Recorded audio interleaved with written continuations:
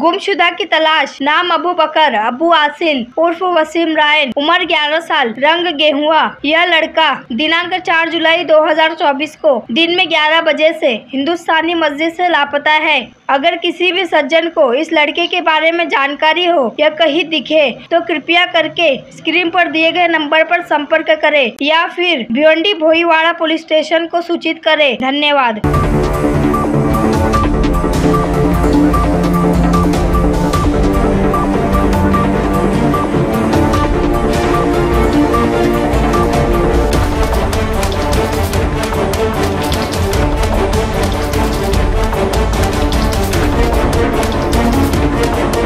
Thank you.